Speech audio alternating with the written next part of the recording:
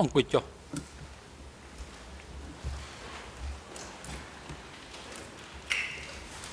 អង្គនឹងជំរះប្រកាសបន្តកិច្ចដំណើរការនីតិវិធីសមការនិងផ្ដល់វិធីការជូនទៅតំណាងសាបញ្ញាដើម្បីបន្តការតាំងសម្រួលដេញដោលចំពោះសាក់សីសូមអញ្ជើញ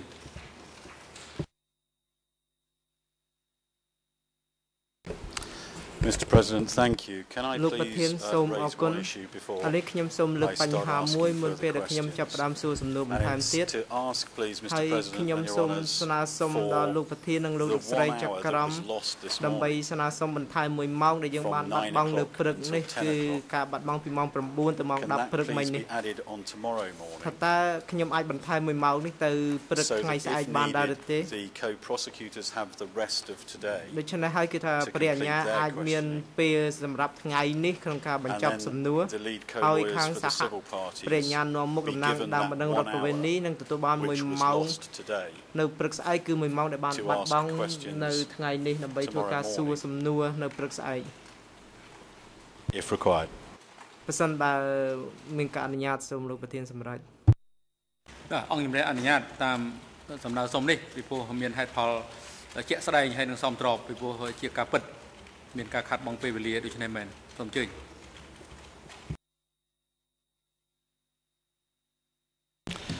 Thank you, Mr. President. សូមអរ And គុណ good លោកប្រធាន afternoon to you, Mr. Chuk Rin. សូមជម្រាបសួរលោកឈុកអរិន Just before the break មុ for នពេលដែលយើង lunch, ឈប់សម្រាកពិសាអាហារថ្ងៃត្រង់នេះ I was asking you questions ខ្ញុំ about បានសួរសំណួរលោកអំពី the 17th of April people ប្រជាជន17មេសា being considered to be with the ដែលគេ enemy. ចាត់ទុកថានៅជាមួយខ្មាំង Your response as translated into English ចម្លើយរបស់លោកតាមរយៈការបកប្រែមកជាភាសាអង់គ្លេសបានបញ្ជាក់ថា was that people knew that the 17th of April people were ម enemies នុស្សប្រជាជនទូទៅដឹងថាអ្នក17មេសានឹង and គឺ that ជាខ្មាំង even babies or សំបី small តែ children កូនង៉ែតឬក៏ knew ក្មេង that ក៏ to be the ដឹង case. ដែរថាវាជាដូច្នេះមែន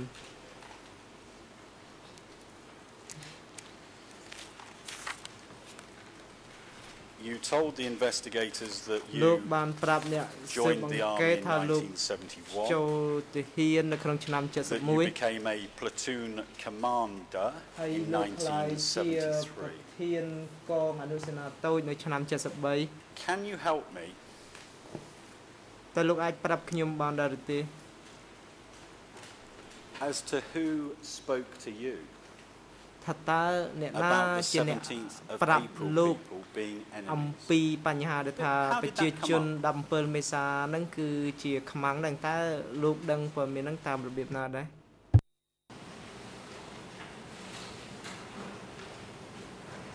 ខ្ញុំលោកប្រធានសម្ញ្ញាខ្ញុំមិនមិនដែលបានមកក៏មកអត់តន់ឆ្លើយតបសូមអញ្ជើញលោកមេធាវីបាទសូមអរគុណលោកប្រធានខ្ញុំសូមអធិស្ឋានសូមអឺតំណាងសាប្រញ្ញាអមេត្តាចង្អុលបង្ហាញចំណុចឯកសារត្រង់ណាដែលតំអឺសាប្រញ្ញាតំណាងសាប្រញ្ញាយោងអំបញ្ញមិញនេះបាទសូមអរគុណ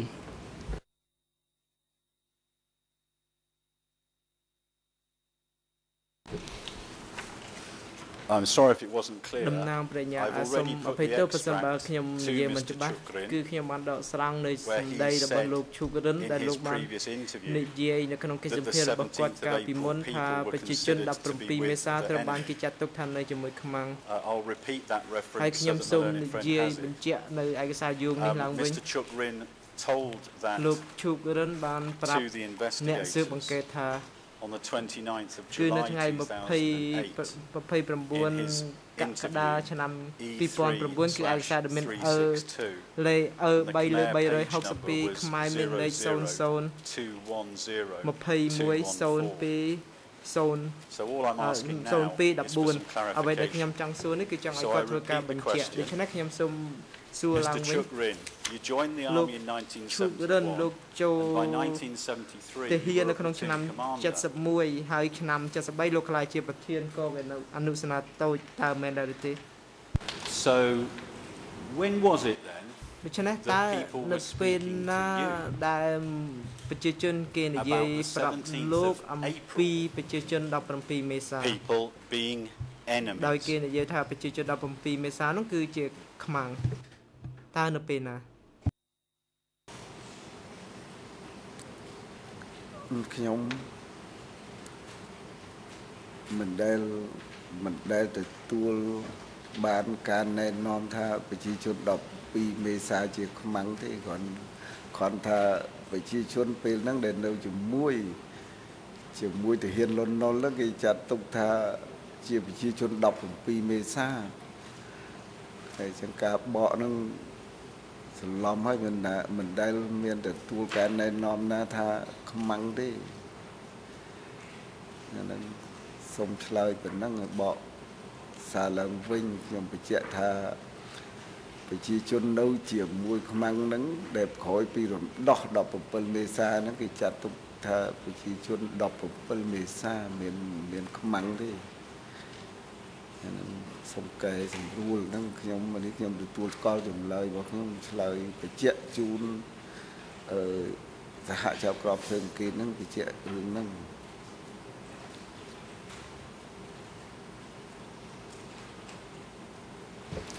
Let me ask the question in this way. សំណួរឥឡូវនេះខ្ញុំសូមសួរទៅលោកម្ដងទៀត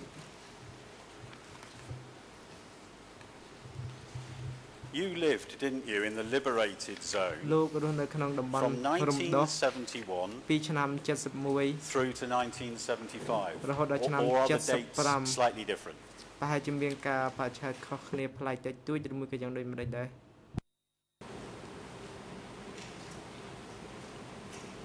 ដោយមិនមិនយល់ពីសំណួរខ្ញុំមិនមិនយល់ពីសំណួររបស់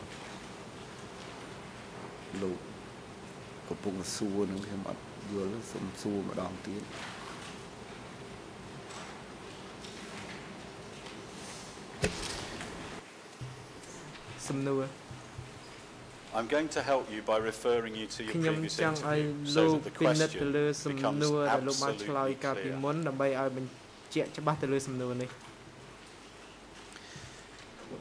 In your interview E3/361 អឺ3លើ361ភាសាអង់គ្លេសមានលេខ007 666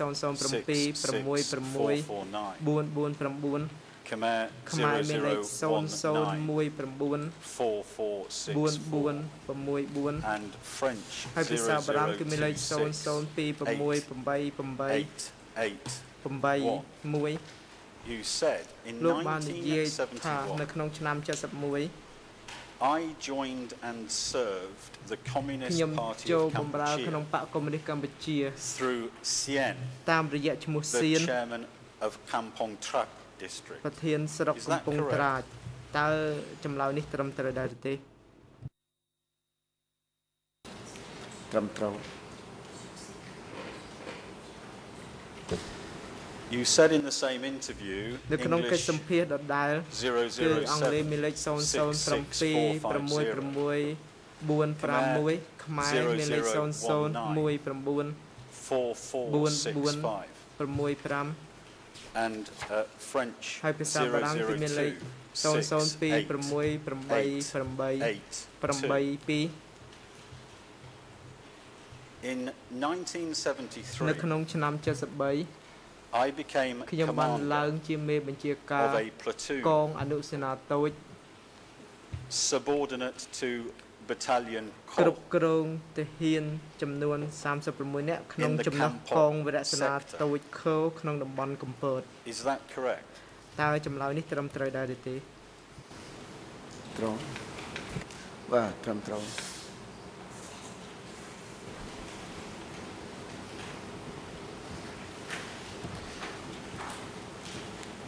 The zones that were occupied by តំ the បន់ Khmer ដែល Rouge គ្រប់ or គ្រ the ងដោយ CPK ខ្មែរ or ក្រ the ហមឬ front ក៏បកកុម្មុយនីសកម្ពុជានោះ became known as the ត្រូវ liberated បានគេ zone. ស្គាល់ថាជាតំបន់រំដោះ Do you understand that phrase, the liberated zones? តើលោកយល់អំពី Or did you use different clear words ថាតំបន់រំ to ដោះនោះ describe ដែរឬទេឬមួយក៏ the លោក areas ប្រើប្រាស់ពាក្យផ្សេង under Khmer Rouge ដើម្បី control រៀបរាប់អំពីតំបន់ដែលគ្រប់គ្រងដោយខ្មែរ in ក្រ the ហម period គឺខ្ញុំច1971ង់និយាយចន្លោះឆ្នាំ71រហូតដល់ឆ្នាំ73នោះ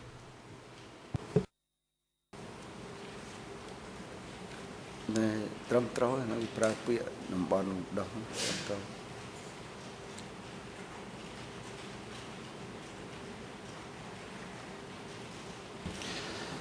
Was it during the សំណួ time រ that you were in a liberated តើ zone នៅពេលដែលលោកនៅក្នុងតំបន់ that it រ was ំដោះនោះ common knowledge ដែល that people who ប្រជា lived ជន in the ជាទូទៅ cities បានដឹង that were ថា not ប្រជា yet ជនដែលរ under ស់នៅ Khmer Rouge ក្នុង control ទីក្រុងហ្នឹងគឺមិនទាន់ស្ថិតក្រោមការគ្រប់គ្រងរបស់ខ្មែរក្រហមតើប្រជាជនទូទៅគេដឹងអញ្ចឹងឬមួយក៏ were យ៉ាង occupied ដាច់ by ឬក៏យ៉ាងដូចមិន enemies. ដាច់ដែរ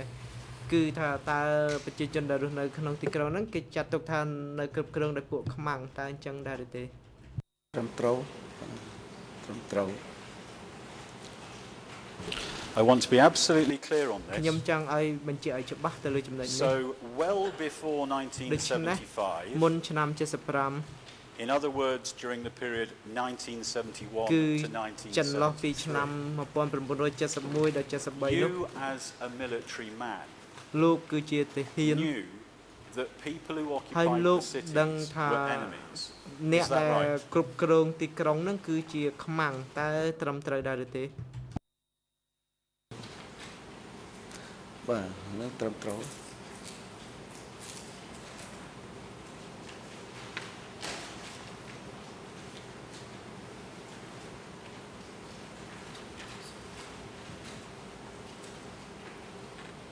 I'd like to ask some further ខ្ញុំ questions ចង់សួរសំណួរលោកបន្ថែមទៀត about who else អំពី were ថា considered to be តើអ្នកណាដែលអ្នកណា the ផ្សេងទៀត enemies ដែលគេចាត់ទុក of the ថា CPK ជាខ្មាំងរបស់បកកុម្មុយនីសកម្ពុជា apart from the city dwellers. គេថាតើអ្នកណាទៀតដែលចាត់ទុកជាខ្មាំងរបស់បកកុម្មុយនីសកម្ពុជាក្រៅពីប្រជាជនដែលរស់នៅតាមទីក្រុ In ង your នោះ interview E3 តាមការសម្ភាស 362, របស់លោកគឺ E3 លើ362 English ភាសាអង់គ្លេសមានលេខ00 68887 French ភាសាបារាំងមានលេខ00268905 and Khmer និងភាសាខ្មែរមានលេខ 002102112. 002112 You were being asked questions គេ about សួរសំណួរលោកអំពី a copy of the Revolutionary Flag magazine, ទស្សនបតីទងបដិវត្តន៍ and you said, ហើយលោកបាននិយាយថា not only the feudalists មិនត្រឹមតែ and ពួក capitalists were មិន purged, ត្រឹមតែពួកសក្តិភូមិនោះទេដែលត្រូវមិនត្រឹមតែបោះសម្អាត But ស also ក្តិ the ភូមិនេតុន farmers ប៉ុណ្ណោះទេប៉ុន្តែកសិករ who ដែល privately មានកម្ម owned សិទ្ធិឯកជន the rice fields, ដូចជាស្រែចម្ការជាដើម they were also the enemy ក៏ of the ជាស CPK. ត្រូវរបស់បកកុម្មុយនីសកម្ពុជា Is that correct? ផងដែរតើចម្លើយរបស់លោកនេះត្រឹមត្រូវដែរឬទេសំណួរមិញវែងបន្តិចចឹងអឺខ្ញុំបាទសូមធ្វើការឆ្លើយប៉ុនឆ្លើយហ្នឹងតាមការចងចាំរបស់ខ្ញុំទេហើយហើយខ្ញុំអត់បានគិតទុកចឹងពេលនេះ ទៅតុលាការចាំបាច់អញ្ចឹងខ្ញុំសូមរៀបរាប់ខ្លះនៅចំណុចដំបូងហ្នឹងអឺខ្ញុំចង់ភ្លេចទៀតហើយហើយនិយាយចង់រួចពីមាត់ផងនិយាយពីទី1នេះនិយាយពីអីហើយ Let me, let me, uh, l- let me try and help you. ឥឡូវនេះខ្ញុំសូមជួយលោកខ្ញុំរំលឹកឡើងវិញ What, if anything, happened ប្រសិនបើមានអ្វីកើតឡើង in the CPK period នៅក្នុងរបប to បកកុម្មុយ farmers នីសកម្ពុជា who privately owned ប្រសិន their បើ own មាន rice fields? កសិករដែលមានកម្មសិទ្ធិឯកជនជាវាលស្រែជាដើមនោះតើមានអ្វីកើតឡើង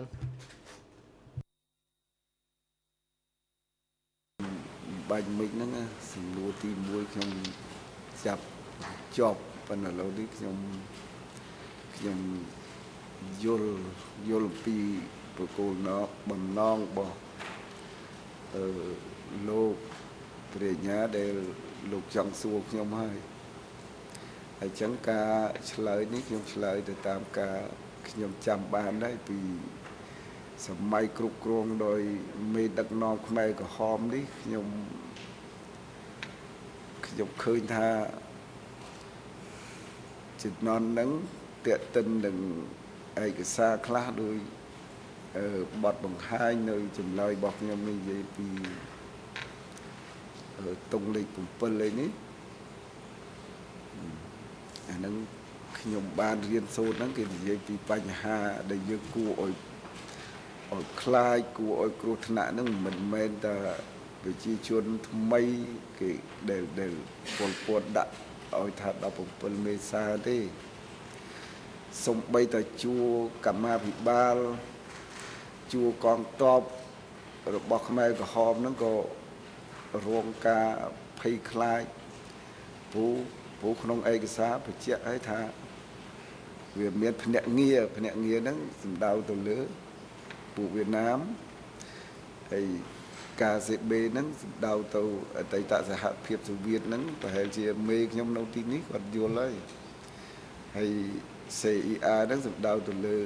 អាមេរិកកាំងប៉ុន្តែពេលហ្នឹងទោះបីអ្នកតស៊ូជាមួយគ្នាខ្ញុំបាន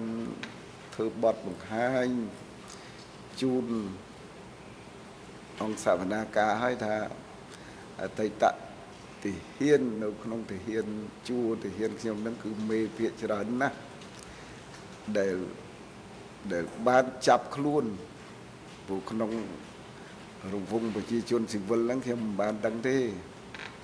ខ្ញុំមិនអាចយកមកនិយាយបានទេហើយខ្ញុំមិនយល់ថាខ្មែរមួយណាដែលជាភ្នាក់ងារអឺខ្មែរមួយណា ដែលជាការសេបេខ្មែរមួយណាជា CER ពេលហ្នឹងខ្ញុំ ខ្ញុំខ្លួនខ្ញុំក៏អត់យល់ដែរព្រោះព្រោះមិត្តរួមអាវុធជាមួយខ្ញុំហ្នឹងគឺត្រូវការត្រូវបានចាប់ខ្លួនជាបន្តបន្ទាប់អញ្ចឹងខ្ញុំលើកតែកន្លែងខ្ញុំដឹងទេដូចនៅខេត្តកំពតអីមេវិជាការឋានៈវរៈសនាតូចវរៈសនាធំមួយចំនួនហើយខ្ញុំចាំឈ្មោះអស់ទេគឺត្រូវគ្នាឯងចាប់គ្នាឯង គ្នាឯងបង្កើតបញ្ហាគ្នាឯងហ្នឹងថានេះខ្មាំងនោះខ្មាំងហ្នឹងអញ្ចឹងទស្សនវិជ្ជាហ្នឹងវាកើតមានសំបីថាជួទាហានរបស់កម្ពុជាប្រជាធិបតេយ្យហ្នឹងគឺរងការភ័យភិតដូចគ្នាអញ្ចឹងអញ្ចឹងហើយបានចលនាហ្នឹងខ្ញុំឃើញការបោសម្អាតគ្នាបន្តបន្ត បោសម្អាតបន្តបន្តព្រឹត្តិការណ៍ហ្នឹងខ្ញុំឃើញឃើញជាក់ស្ដែងឃើញការបោសម្អាតមេតបមេតបហ្នឹងប៉ុន្តែក្នុងមូលដ្ឋានក្នុងវិជាជនអីកងតបពេលហ្នឹងគេអត់អោយមកទេអត់អត់ដឹងសភាពការនៅមូលដ្ឋានហ្នឹងយ៉ាងម៉េចទេហើយខ្ញុំឃើញតែការធ្វើទុកបុកម្នេញគ្នាខ្លាញ់ហ្នឹងសំខាន់ហ្នឹងបកគុំនីកម្ពុជាពេលដែលដែល កើតបញ្ហាខ្លាំងហ្នឹងគឺនៅក្រោយពីរៀនឯកសារទុងលេខ7ហ្នឹងប៉ុន្តែពេលហ្នឹងខ្ញុំមិនបានឃើញអឺលោកធៀវផនអីគាត់នៅក្នុងហ្នឹងទេខ្ញុំខ្ញុំលឺកាន់តែពាក្យលឺទេវាមិនយកជាផ្លូវការទេខ្ញុំលឺទៅមុខថាដូចលោកខេសុផនអីហ្នឹងគាត់ជា បញ្ញវន្តបញ្ញវន្តហ្នឹងមិនមិនស៊ីជម្រៅក្នុងបកគុំនេះកម្ពុជាគេទេកន្លែងខ្លះគាត់ដឹកហ្នឹងវាថាការងារទូទៅទេបើដល់រៀនអាហ្នឹងទៅដូចខ្ញុំបានបង្ហាញហើយប៉ុន្តែខ្ញុំនិយាយនេះខ្ញុំបានជម្រាបជូនតុលាការថាខ្ញុំអត់ចង់និយាយនៅពេលនេះ ដោយសុខភាពរបស់ខ្ញុំឯថ្ងៃនេះខ្ញុំ ប្រើខ្ញុំប្រើថ្នាំប៉ារ៉ាសេតាមុលហ្នឹងវាឲ្យវាធូរខួរក្បាលហ្នឹងដើម្បីខ្ញុំមានឱកាសនិយាយអឺអញ្ចឹងពេលហ្នឹង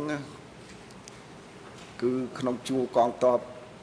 កម្ពុជាវិជា Can I can I just uh, uh, please forgive me Mr Chukren I, I just want to ខ្ញុំសូមអភ័យទោស interject there if I may because you've given a, a ត្រូវ very កាត់ long លោក answer ចំ in, ពោះ in, in a lot លោក of ដែលផ្ដល់ detail ចម្លើយដល់ I thank ដល់ you លំអិត very នេះ much ហើយខ្ញុំ for សូមអរគុណលោកដែល very លោក helpful answer បានជួយខ្ញុំក្នុងការឆ្លើយទៅលើ Uh, I សំ hope ណួរ you នេះ won't mind if I just ask ខ្ញុំ some other questions សង្ឃឹមថា to លោកមិនប្រ clarify. កាន់ទេប្រសិនបើខ្ញុំសួរសំណួរលោក certain aspects មួយទៀត of ដើម្បី what ឲ្យ you លោក said. បញ្ជាក់ទៅលើបញ្ហានេះ you spoke about លោកបាននិយាយ military រៀបរាប់ commanders អំពីមេបញ្ជាការយោ being ធា arrested. ដែលត្រូវបានគេចាប់ខ្លួន And you covered this ហើយលោកបាន In your រៀបរាប់បញ្ហានេះ interview with នៅ the ក្នុងកិច្ចសម្ភាររបស់ OCIJ, លោកជាមួយសហជីវកម្មស៊ើបអង្កេត and you said this ហើយលោកបាននិយាយ E3 នៅក្នុងឯកសារអឺ3លើ3 English 62អង់គ្លេសមានលេខ002 68895 French បារាំងមានលេខ002 03និងខ្មែរមានលេខ002 1020 And I quote ហើយខ្ញុំសូមដកស្រង់នៃចម្លើយរបស់លោក In 1975ក្នុងឆ្នាំ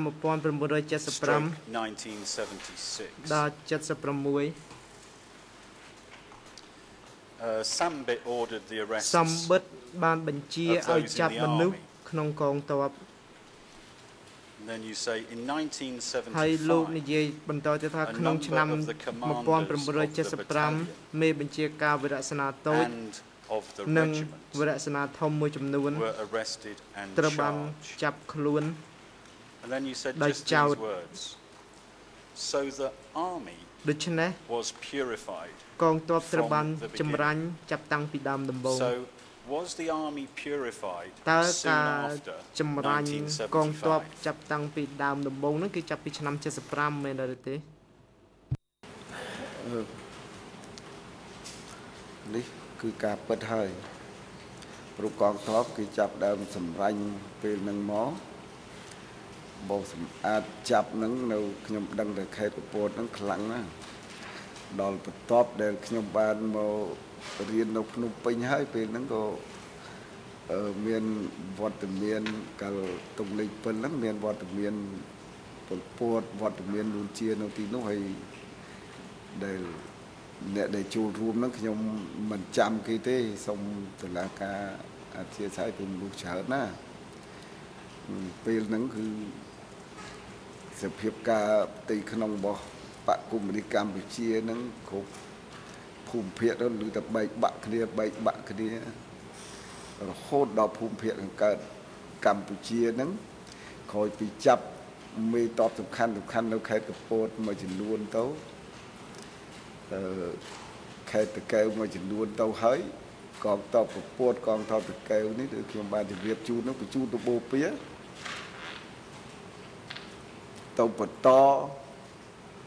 ច្បាំងផងបន្ត រុករើតែគ្នាឯងច្បាំងតែគ្នាឯងបែកបាក់គ្នាពេញពេញស្រុកពេញភូមិអាហ្នឹងអាហ្នឹងខ្ញុំឃើញឃើញសភាពការកងទ័ពវាវាមានអញ្ចឹងហើយវាមានអញ្ចឹងហ្នឹងហេតុភេទដែលកើតឡើងហ្នឹងខ្ញុំជឿថា Thank, thank you. Uh, thank you. Uh, សូមអរ Children. គុណលោកឈូករិន In the same portion of your នៅ previous ក្នុង interview, ផ្នែក on ដ the ដែល same នៃការ pages, សម្ភាសរបស់លោកគឺនៅទំព័រដដែលនេះ speaking about the military commanders លោក who បាន were និយាយ arrested អំ from the ពី beginning, មេបញ្ជាការយោធាដែលត្រូវបានគេចាប់តាំងពីដំបូង you said this. ហើយ and លោក I បាន quote, និយាយដូចតទៅនេះ They were arrested from the strings ពួក of គេត្រូវ traitors. បានចាប់ ខ្លួនទៅតាមខ្សែ The ក្បត់ arrests were made on the ការ order ចាប់ខ្លួន of the គឺធ្វើ zone, ទៅតាមបញ្ជារបស់ which ភូ I មិភាគ think was from someone ដែលខ្ញុំ who was គិតថា above វាចេញ Sambit. ពីថ្នាក់លើសម្បិតទៅទៀត Some of the arrested were sent to ពួក Phnom អ្នកដែល Penh, ត្រូវបានចាប់ខ្លួនទាំង and នោះ some ខ្លះ were taken ត្រូវបាន to បញ្ជូនទៅកាន់ Camp ភ្នំពេញ Pop និង security ខ្លះត្រូវបាន office. នាំយកទៅកាន់ Is មន្ទីរ that right? សន្តិសុខខេត្តកំពតតើចម្លើយរបស់លោកនេះត្រឹមត្រូវដែរឬទេគឺ ការពិតខ្ញុំបានផ្ដល់ជូនពរិញ្ញាដែលបានជួបគ្នាជាមួយខ្ញុំហើយហ្នឹងគឺពិតនៅខាងភូមិភាគនេះដីនេះគឺមានសភាពការហ្នឹងពិត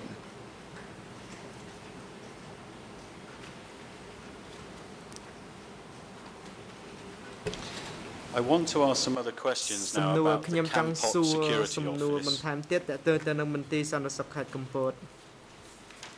Can you help us on whether that តើ security លោកអាចប្រាប់ office បានឬទេបានដែរឬទេថាតើមន្ទីរសន្តិសុខហ្នឹង existed before វាមាន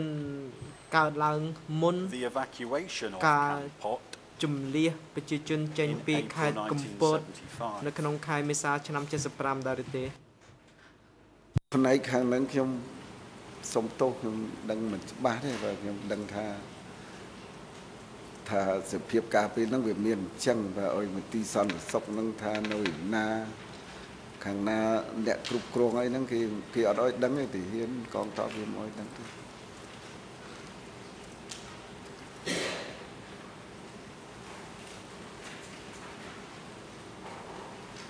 Let me try and help you. In your interview, E3 slash 362 English 002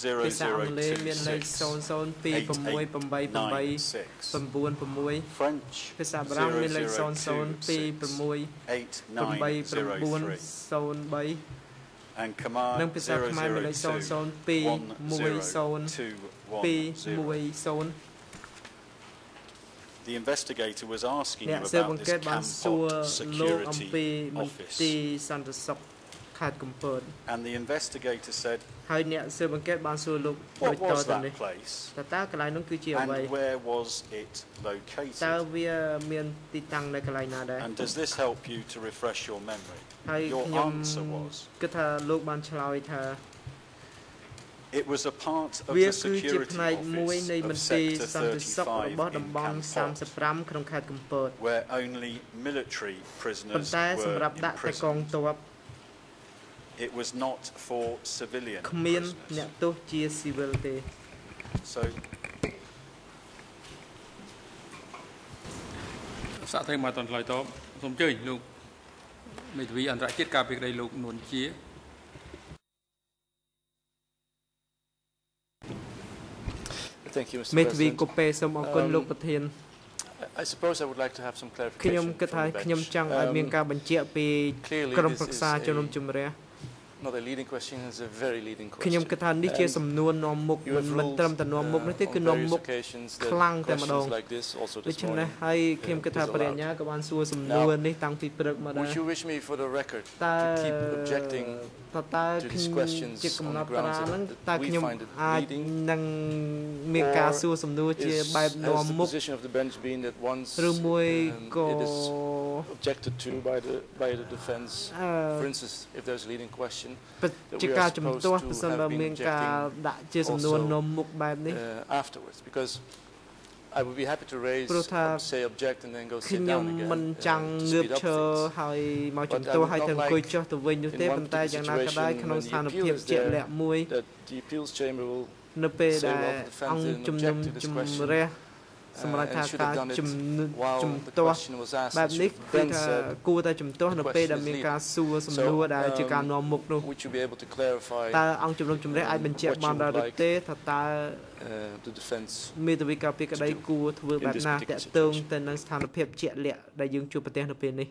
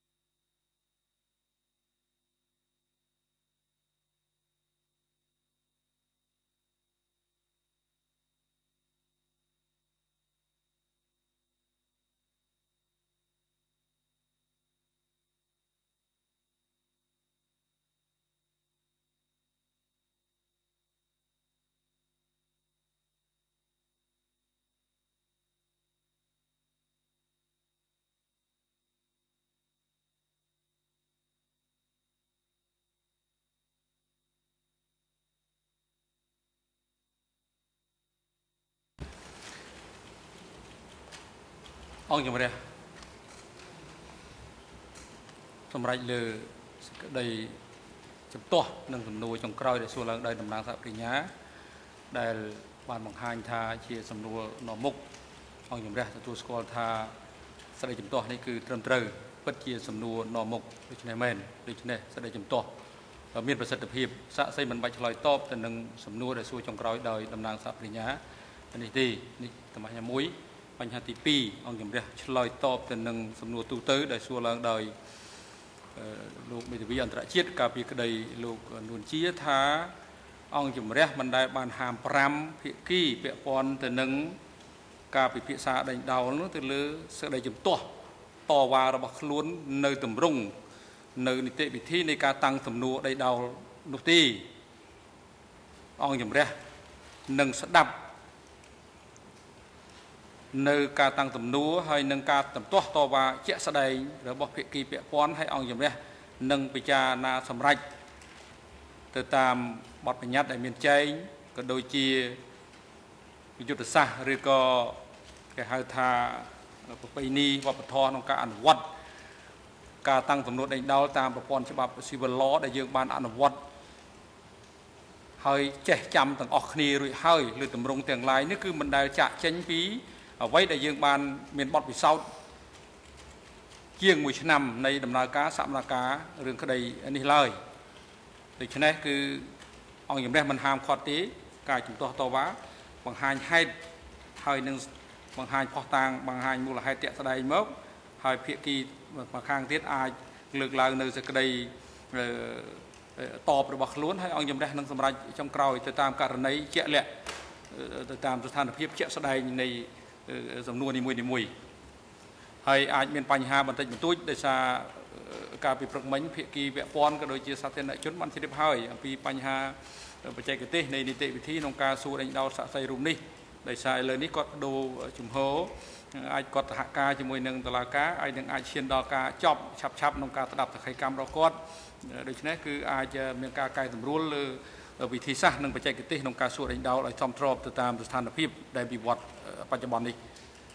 សូមអញ្ជើញលោកតំណាងថាជាណាបន្តការតាំងទម្រួតនេះដល់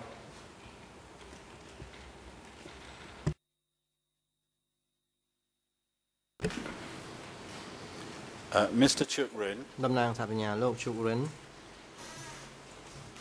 When did you first know នៅពេលណាដែលជាលើកដំបូងដែលលោកបានដឹងថាមន្ទីរសន្តិសុខ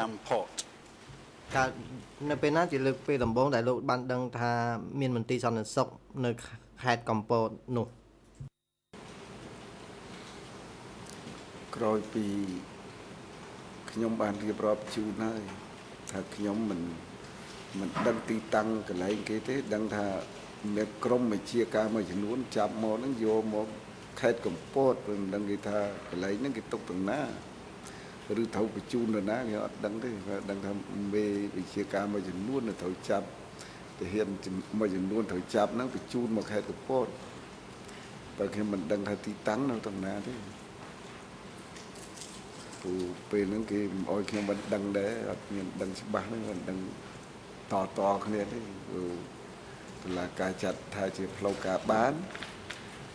យកជាផ្លូវការទៅយកជាផ្លូវការមិនបានទេអានេះវា ពីមុនមកខ្ញុំបានព្យាយាមតាមក្តាប់រឿងនោះនឹងឲ្យបានមកចត់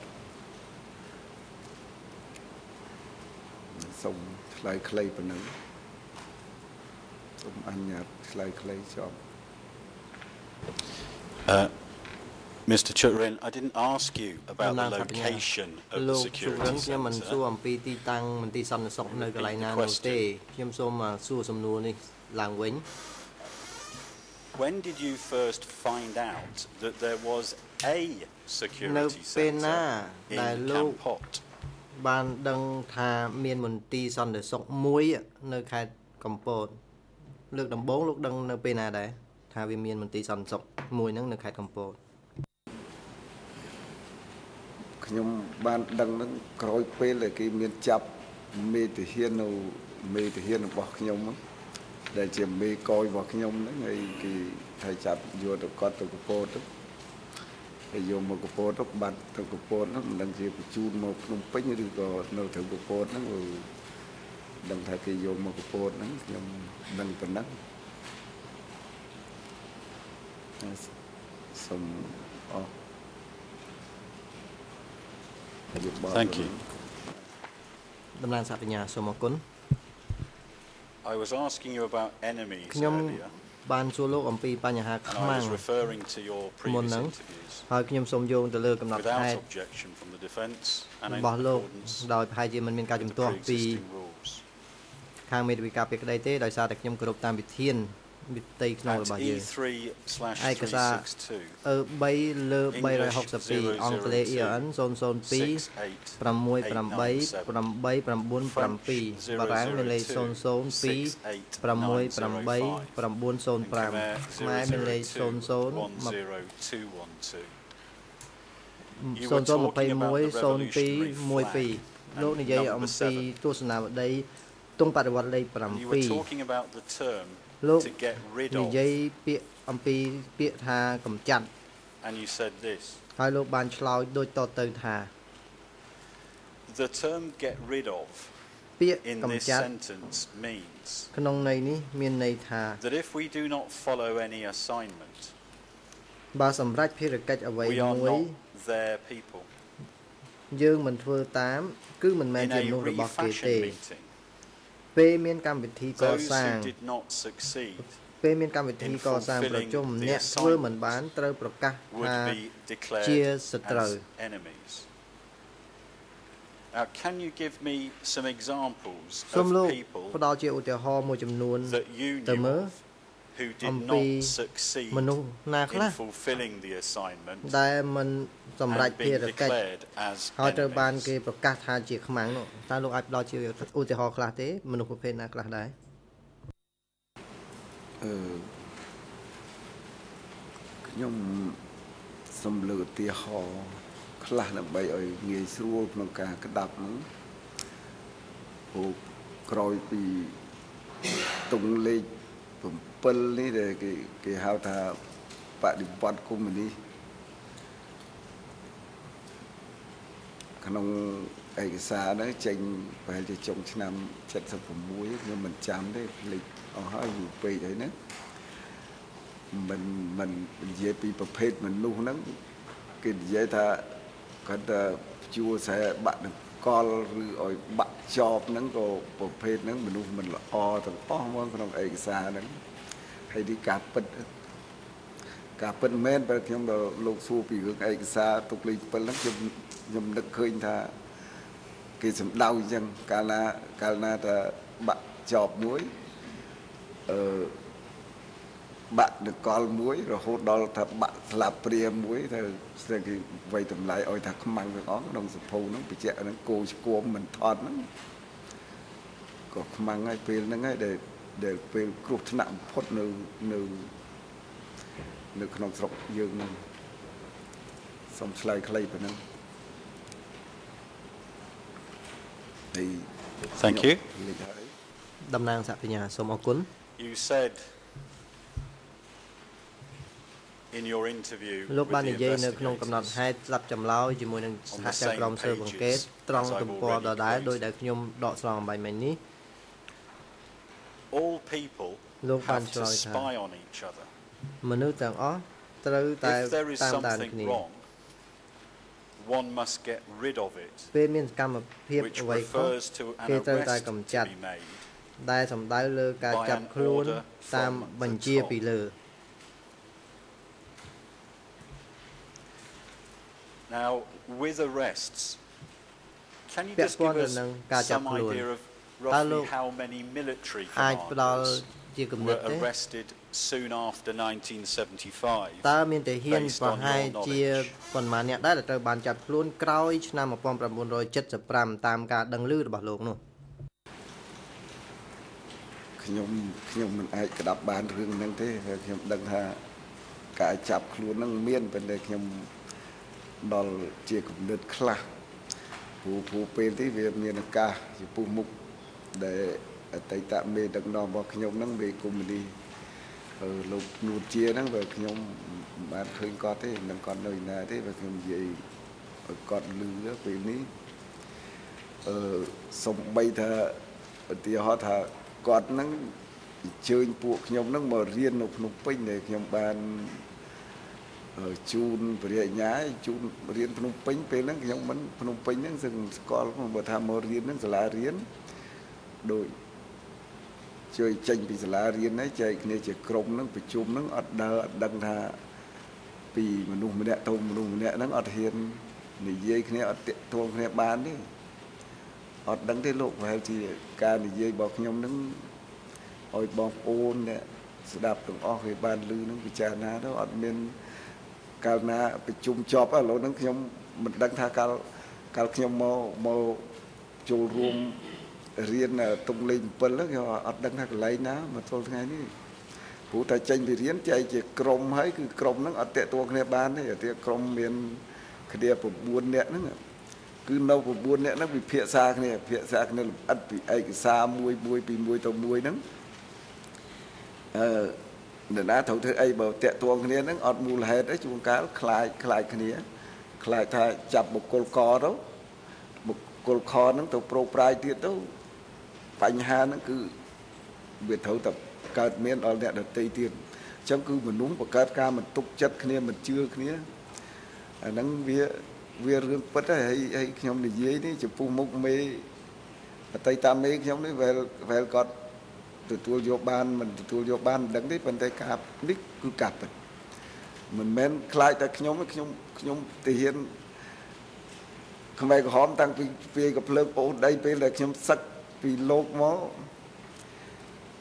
ខ្ញុំអត់បានអត់បាននឹកស្មានថាសភាពការទៅដល់ថ្នាក់ហ្នឹងទេព្រោះពេលហ្នឹងខ្ញុំអត់បានរៀបរាប់ពេលហ្នឹងតាមការពៀវនាវរបស់សម្ដេចអូដែលគាត់យាងទីមង្គលហើយហ្នឹងលន់នល់រត់ធ្វើរត់ប្រហារទៅពួកខ្ញុំនេះជាមានអារម្មណ៍ខឹងនេះជានាំគ្នាទៅដើម្បីសម្ដេចអូទេអត់ដឹងថា មាន Mr forgive me again តំណាងសាបញ្ញាសូមអធិស្ឋានលោកសាជាថ្មី Sorry I'm I'm interrupting you uh, ខ្ញុំកាត់សម្ដីលោកសូមអធិស្ឋានតាមពិតទៅខ្ញុំចង់ឲ្យលោករៀបរាប់តាមលក្ខណៈមួយវា logic attending training លោកបានរៀបរាប់ថាលោកមកចូលរួមប្រជុំនៅក្រុងភ្នំពេញតើលោកមកទីក្រុងភ្នំពេញនេះប៉ុន្មានដងដែរមកទទួលការអប់រំ អឺបាញ់មិញខ្ញុំកំពុងតែរៀបរាប់រឿងហ្នឹងហើយអឺសូមអធិស្ឋានខ្ញុំបានរៀបរាប់ហ្នឹងខ្ញុំមកប្រជុំកាលតុងលេខ7ហ្នឹងខ្ញុំបានចូលរួមម្ដងប៉ុន្តែក្រោយពីប្រជុំហើយហ្នឹងចេញទៅវិញហ្នឹងសភាពការសង្គ្រាមនៅព្រំបន្ទល់នឹងខ្លាំងហ្នឹងខ្ញុំគេបញ្ជូនកម្លាំងទៅកពតហ្នឹងបានឆ្លងកាត់ភ្នំពេញជួបមេមេដឹកនាំមួយចំនួនខ្ញុំបាន ជំរាបជូនពីមុនមកហើយជួបទួលការណែនាំអីឲ្យទៅផ្លាស់បញ្ជូនទាហានទៅអឺព្រំដែនខាងកើតអីទៅស្វ័យរៀងទៅអីហ្នឹងខ្ញុំបានជំរាបជូនហើយបើខ្ញុំនិយាយអំបញ្ញមិញនេះខ្ញុំគ្រាន់តែលើកពីព្រឹត្តិការណ៍កាលហ្នឹងសំបីតែខ្ញុំដែលជាទាហានអឺខ្មែរក្រហមហ្នឹងក៏ក៏មានការភ័យភិតដូចគ្នាខ្លាចខុស មានពេលខ្លះហ្នឹងរយដីសាច់សាច់ដាក់ក្បាលដែរព្រោះព្រោះគុំនេះវាឆ្អិនឆ្អៅទៅហើយហើយនឹកស្មានថាស្រុកទេសយើងមិនទៅអញ្ចឹងទេដល់ទៅអញ្ចឹងពីដើមមកមានមានមានដែលឮស្គាល់លោកពលពតណាអត់ដែលស្គាល់លោកនួនជាទេចាប់ដល់គេគេបង្កើតបកគុំនេះគេចូលបកគុំនេះទៅទៅរៀនឮរឿងហ្នឹង ឮរឿងហ្នឹងឮគេនិយាយពីរឿងស្ដេចសម្ដេចអូយើងនេះគាត់នៅជាកម្លាំងរណសេមួយទេហើយលោកខៀវសំផននេះអញ្ចឹងបានអត់ឃើញលោកខៀវសំផនអញ្ចឹងបានខ្ញុំនេះចេះតែនិយាយសម្ដៅមកអង្គជំនុំជម្រះវិសម័យហ្នឹងខ្ញុំថាលោកខៀវសំផនពេលហ្នឹងប្រហែលជាគេគេមិនអោយគាត់ចូលក្នុងបកកជននៃបកកុម្មុយនីសកម្ពុជាទេប្រហែលជាបានជាឃើញវត្តមានគាត់ហ្នឹងហើយអញ្ចឹងការ ខ្ញុំនៅតែសោកស្ដាយថាអិសរាជជនសំខាន់ដោយសម្ដេចអូនីយើងអីលោកក៏ផ្លត់ចាញ់បោកពលពួតចាញ់បោកលោកនួនជាដូចគ្នាអញ្ចឹងលោកគឺផនគាត់ចេះដឹងបើសិនណាគាត់ងាកចេញទៅពួកយើងខ្ញុំនេះវាវាអត់មានមានបញ្ហាអីទៅចិត្តតែជ្រុលទៅជ្រុលអញ្ចឹងជ្រុលខ្លួនមិនអញ្ចឹងត្រូវតែធ្វើតាមមេមេ វិជាយ៉ាងណាត្រូវទៅនឹងឯងវិជាឲ្យទៅលិចទៅលិចវិជាឲ្យទៅកើតទៅកើតឯងអញ្ចឹងហើយបានអឺខ្ញុំសរុបសេចក្តីមកថាក៏ពូខ្ញុំខ្ញុំព្យាយាមឆ្លើយរឿងនេះសរុបសេចក្តីមកថាមេរបស់ខ្ញុំនេះគាត់ចាស់ហើយប្រហែលជាគាត់មិនទទួលយកប៉ុន្តែខ្ញុំជម្រាបថាពលពតដូចខ្លាគេចាស់មកក្បាលអត់ចំណៃអញ្ចឹង មូលហេតុអីបានខ្ញុំលើកអញ្ចឹងកាល3ឆ្នាំនោះវ័យតែកូនចៅឯងវ័យតែកងទ័ពឯងអ្នកច្បាំងខ្លាំងខ្លាំងហ្នឹងវ័យវ័យងាប់យ៉ាងអស់ហើយរឿងនេះគឺរឿងពិតហើយថារឿងហ្នឹងក៏វ័យទៅចោះប៉ុន្តែដល់ច្បាំងតំណាងសហប្រញ្ញាសូមអរគុណលោកសូមអរគុណលោកជូរិនខ្ញុំចង់ឲ្យលោកបដោត when you came to Phnom Penh for ពេល training មួយនោះដែលលោកមក and the ទ revolutionary ទូល flag ការអប់ number រំ7នៅទីក្រុងភ្នំពេញអប់រំ was ពី the document ទង់បដិវត្តលេខ discussed 7 at the training ហើយថាតើនៅពេលដែលលោកមកប្រជុំម្ដងនោះគេមាន So បាន I យ mean ក who ទស្សនាប wrote តី the ទង់បដិវត្ត policies in លេខ revolutionary flag 7ពី number នោះមក7ពិភាក្សាដែរទេ ហើយតើនរណាគេដែរជាអ្នកសរសេរអឺគោលនយោបាយដែលចែងនៅក្នុងទង់បដិវត្តលេខ7នោះ ខ្ញុំពេលហ្នឹងអស់លោកយល់ហើយថាមេដឹកនាំបកកុម្មុយនីកម្ពុជាហ្នឹងពិបាកណាពិបាកក្តាប់ពិបាកយល់គាត់ណាព្រោះព្រោះគាត់លក្ខការខ្ពស់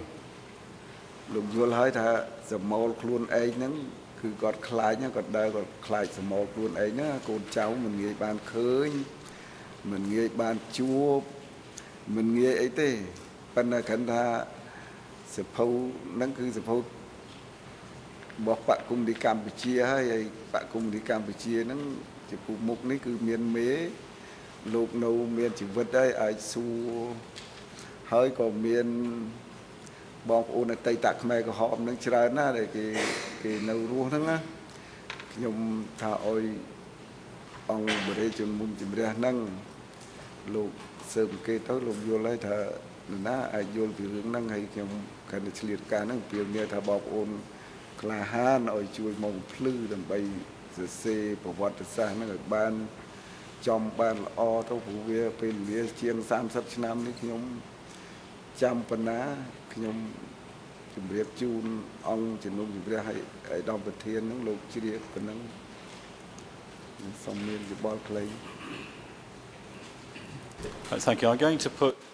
តំណាង in សិទ្ធិប្រញ្ញា fairness to you an ខ្ញុំ extract សូម of អរ what គុ you ណ told the ខ្ញុំ investigating នឹងយក judges សេចក្តីដកស្រង់ And សម្ then ដី I'm របស់ gonna លោក ask ដែល you លោកបាន whether ឆ្លើយប្រាប់ you សហជីវ knew ក្រម this ស៊ើបអង្កេ thing, តហើយ whether បន្ទាប់ you're មក speculating ខ្ញុំ about សួរ it ថាតើលោកបានដឹងរឿងរ៉ាវនេះដោយ And ផ្ the ទាល់ឬ extract ក៏ is លោក this, ទីស្មាន E3 តែ slash ប៉ុណ្ណោះ362ឯកសារអឺ3លើ362 English EON ជាភាសាអង់គ្លេស002 6868999 French មារាំងលេខ EON គឺ002 0068907 68907ខ្មែរ EON មានលេខ00210214 The investigator asked you this question អ្នកស៊ើបអង្កេតបានសួរសំណួរ Do you ដូច know តទៅ who wrote these តើលោកដឹង policies ទេ in អ្នកណាជាអ្នកសរ revolutionary សេរ flag ពីគោ number លការណ៍ 7? ក្នុងទង់បដិវត្តលេខ7នេះ And your answer was ខ្ញុំថាចម្លើយដែលលោកឆ្លើយ the នោះគឺថា persons who wrote them ខ្ញុំដឹងថា were អ្នក those សរ from សេរ the គឺ Central គណៈ Committee. មជ្ឈិម such as Pol Pot ដែលមាននួនពលជាពតនួន and ជា Ieng Sari និងអៀងសារី who copied a little of the idea ដែលគាត់ចម្លងគំ from និត the Russian ពីបក Communist កុម្មុយនី Party សរុស្ស៊ី and from និងចិន China. តិចតួច But the main ideas were theirs ប៉ុន្តែគំនិត Because ចម្ as បង long as គឺ they ពួកគាត់ agreed ទាំងនោះ in the តែម្ដង party, ព្រោះក្នុងសន្និបាត then the ត្រូវតែ principles មានការឯកភាព could គ្នា be ក្នុងបក adopted ជាមុនសិន and ទើបគោលការណ៍នេះ implemented throughout ដាក់ the ចេញ country. និងអាចអនុវត្តទូទាំងប្រទេសបាន Now,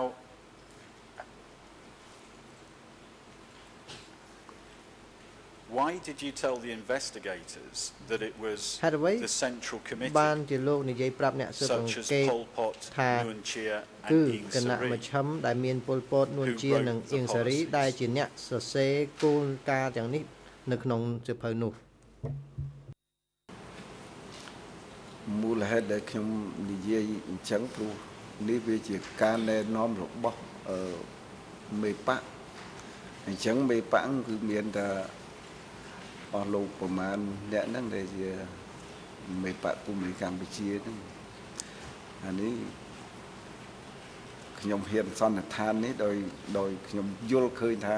គាត់គឺជាមេបកអឺសូមអរយោបល់ Right thank you តំណាងសហបញ្ញាសូមអរគុណ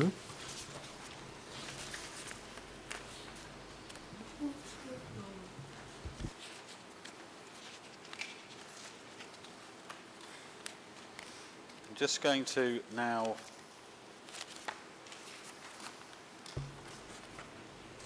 ask you briefly to comment on some documents សូមសួរលោកឲ្យលោកខ្លោចឆ្លៃខ្លីៗពាក់ព័ន្ធនឹងឯកសារ last week យើងខ្ញុំបានធ្វើការទាញយកឯកសារនេះតាម interface កាលពីសប្តាហ៍មុន They're basically documents about the military ជាចម្បងទៅឯកសារទាំងអស់នេះវាពាក់ព័ន្ធទៅនឹងបញ្ហាយោធាខ្ញុំសូមជម្រាបលោកជួរ ដូច្នេះខ្ញុំនឹង put the document up on the screen បញ្ចាំងឯកសារទាំងអស់នេះនៅលើអេក្រង់បន្ទាប់មកសួរសំណួរមួយចំនួនដោយផ្អែកទៅលើឯកសារទាំងនេះ forestall any potential objections from the defense ដើម្បីកុំឲ្យខាង intimately involved with the military ពីក្តីជំទាស់នោះគឺថាលោកបានសរសេរថាលោកចូលរួម to 1979ជាមួយនឹងយោធាតាំងពីឆ្នាំ71រហូតដល់ឆ្នាំ1979លោកបានប្រាប់អ្នកស៊ើបអង្កេតថាលោកជាមេកងអនុសេនាតូចបន្តមកលោកខ្លាចជាមេបញ្ជាការកងកម្លាំងធំដោយហេតុទាំងអស់នេះហើយគឺខ្ញុំសូមឲ្យលោកជួយផ្ដល់យោបល់មួយចំនួនផ្អែកលើឯកសារទាំងអស់នេះឯកសារដំបូងដែលខ្ញុំសូមបញ្ចាំងលើអេក្រង់គឺ ឯកសារ E3 លើ847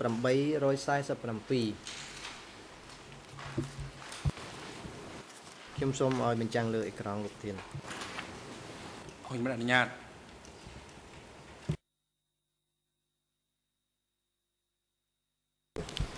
Thank you តំណាងសហបញ្ញាសូមអរគុណលោកទៀន Um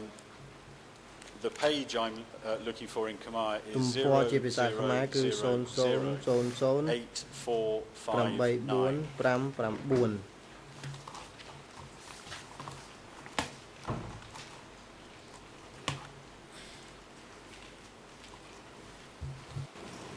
I wonder if that can go up onto the screen please បាទខ្ញុំសូមឲ្យបញ្ចាំងនៅលើអេក្រង់ដាក់បញ្ចាំងលើអេក្រង់តែម្ដង Now Mr Chukrin I know your eyesight is not good ខ្ញុំដឹង so ថា I'm going to try and help លោកភ្នែកលោកមើលមិនសូវច្បាស់ទេដូច្នេះហើយខ្ញុំនឹងធ្វើការពន្យល់លោកដើម្បីជួយឲ្យលោកដឹងថាឯកសារហ្នឹងជាឯកសារអ្វីឯកសារ E3 លើ847អង់គ្លេស EN 00195322 and the French បារាំងមានលេខ EN 0062 31 99 And the document Mr Chukrin has it as the title of the document មានចំណងជើងថា A General Staff Study Session តារាង the date of this study វគ្គ session សិក្ខាធិការ was the 23rd of November ចុះថ្ងៃទី 1976 23ខែវិច្ឆិកាឆ្នាំ The document 1976 that you have ឯកសារ sets out ដែលមាននៅក្នុងអេក្រង់នេះគឺបានរៀបរាប់ a table of នៅ statistics តារាងស្ថិតិសិក្ខាកាម showing who participated in the study session. I'm not going to go through every ខ្ញុំ single entry. មិនអានតួលេខឬ ទិន្នន័យនៅក្នុង But នេះ if ទាំង you អស់ look នោះ at ទេ the page, you will ក៏ប៉ុ see ន្តែប្រសិនបើលោកមើលទំព័រនេះគឺលោកនឹងមើល that ឃើ in ញ terms of the ថា divisions, and ពាក់ so that's a, ព័ a ន្ធ high level ទៅនឹងកង army ពលដែលជាថ្នាក់មួយខ្ពស់ there were 9 divisions who sent people to this មានកងពល9ដែលបានបញ្ជូនទាហានរបស់ខ្លួនទៅចូលរួមវគ្គសិក្សានេះវគ្គអប់រំនេះបន្ទាប់មកខ្ញុំនឹងរៀបរាប់កងពលនឹងមានលេខណាខ្លះគឺកងពល450 Division 801កងពល801 Division 502កងពល502 Division 703កងពល703 Division 170កងពល170 Division 290កងពល290 Division កងពល164 and Division 310កងពល910 and finally Division 920ហើយបន្ទាប់មកគឺកងពល920 Now you told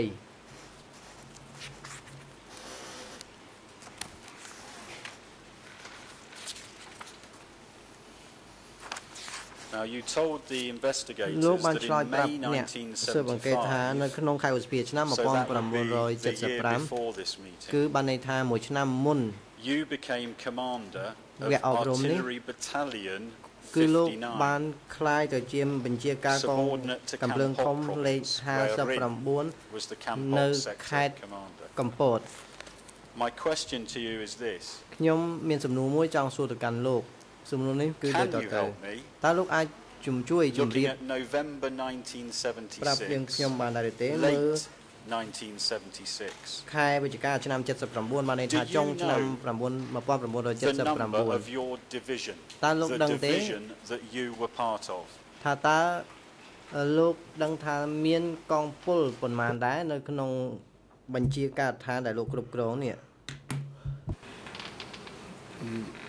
អឺ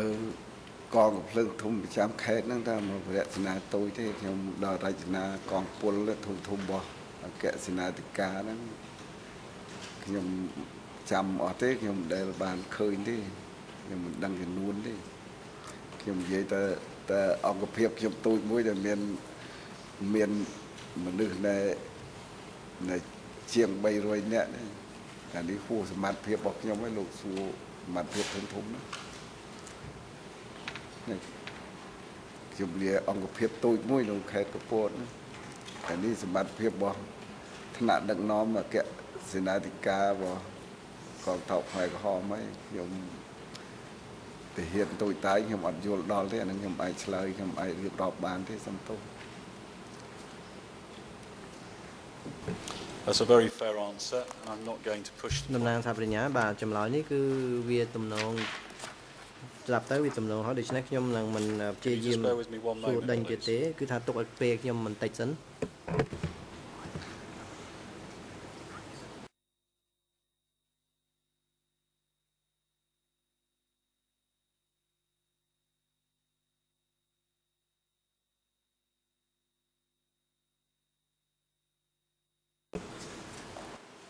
តំណាងសហវិញ្ញាលោកជុករិននៅពេលនេះខ្ញុំសូមឲ្យ លោកបដោតអារម្មណ៍លើ on the period from 1973រយៈកាលចាប់ពីឆ្នាំ1973នៅពេលដែលលោកខ្លាយទៅជាមេកងអនុសេនាតូ through to April 1975ហូតមកដល់ខែមេសាឆ្នាំ75គឺកំឡុងឆ្នាំ73ដល់ខែមេសាឆ្នាំ75ក្នុងពេលដែលគេនៅពេលនោះគឺថាគេជំលះខេត្តកំពត Now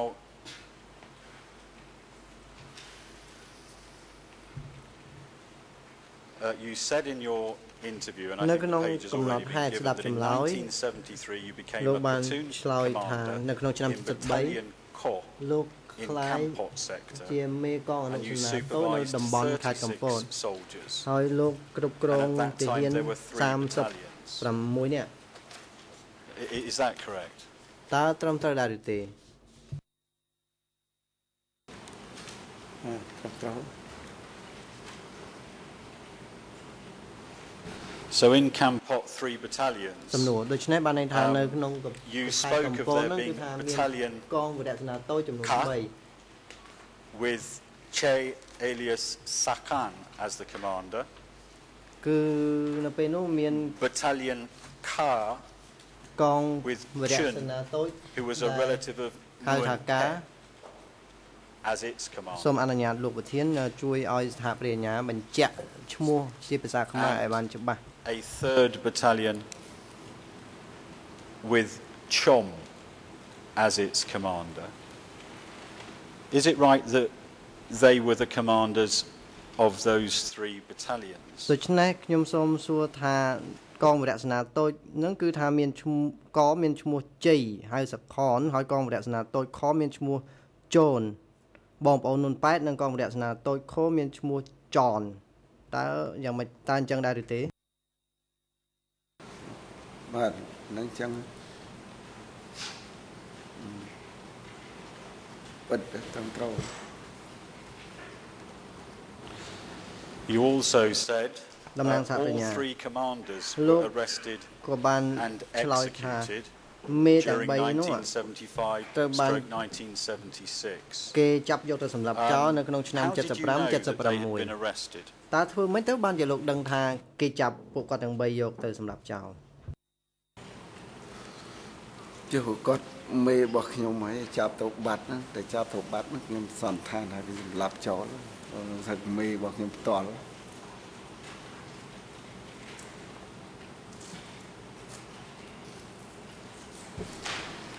Now I want to again ask some questions about ខ្ញុំសូមសួរអំពីរយៈកាលឆ្នាំ1973និងឆ្នាំ74 Now you've mentioned Tamok លោកបានលើកឡើងអំពីតាមុក When did you first hear about or meet នៅពេលណាដែលលោកបានឮតាមុកឮថាមានតាមុកហើយបានជួបគាត់នៅពេលដំបូងគឺលោកបានឮនឹងជួបគាត់នៅពេលណាដែរខ្ញុំមិនចាំថ្ងៃខែទេបើខ្ញុំដឹងថាតមុកគាត់មេនេះដីហ្នឹងតាំងពី តាំងពីខ្ញុំធ្វើកងតបមកខ្ញុំឮឈ្មោះគាត់រហូតប៉ុន្តែការជួបហ្នឹងខ្ញុំចាំនេះជួបគាត់ញឹកដែរហ្នឹងគាត់ចេញចូលទៅខេត្តកពតទៅអីហ្នឹងជួបគ្នាមិនចាំថ្ងៃទេខ្ញុំអាចរៀបរាប់បានទេរឿងហ្នឹង Did you សំណួរ Did you ever hear of the name តើលោកធ្លាប់ឮឈ្មោះ Tuch Rin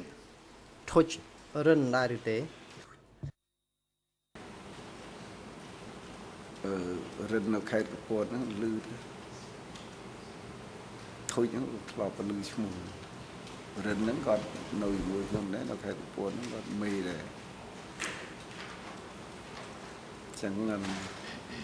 ទៅតុលាការយល់មិនច្បាស់មិនខ្ញុំនេះមិនមែនរិនទេ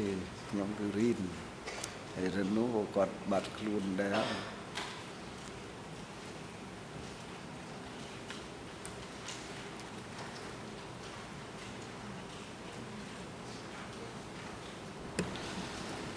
Did you know of សំណួរ a man called Praset តើលោកស្គាល់បុរសម្នាក់ឈ្មោះកាសែតបាទលោកប្រធានសូមអនុញ្ញាតឲ្យតំណាងសហប្រញ្ញាបញ្ជាក់ឈ្មោះឲ្យបានច្បាស់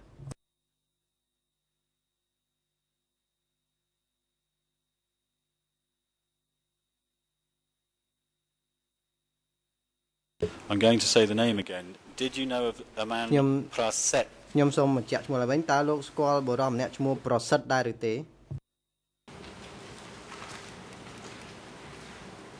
អត់ខ្ញុំអត់ស្គាល់បង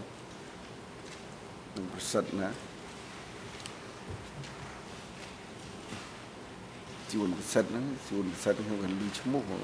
ជួនប្រសិទ្ធហ្នឹងឮតែឈ្មោះទេមិនដែលឃើញមុខទេ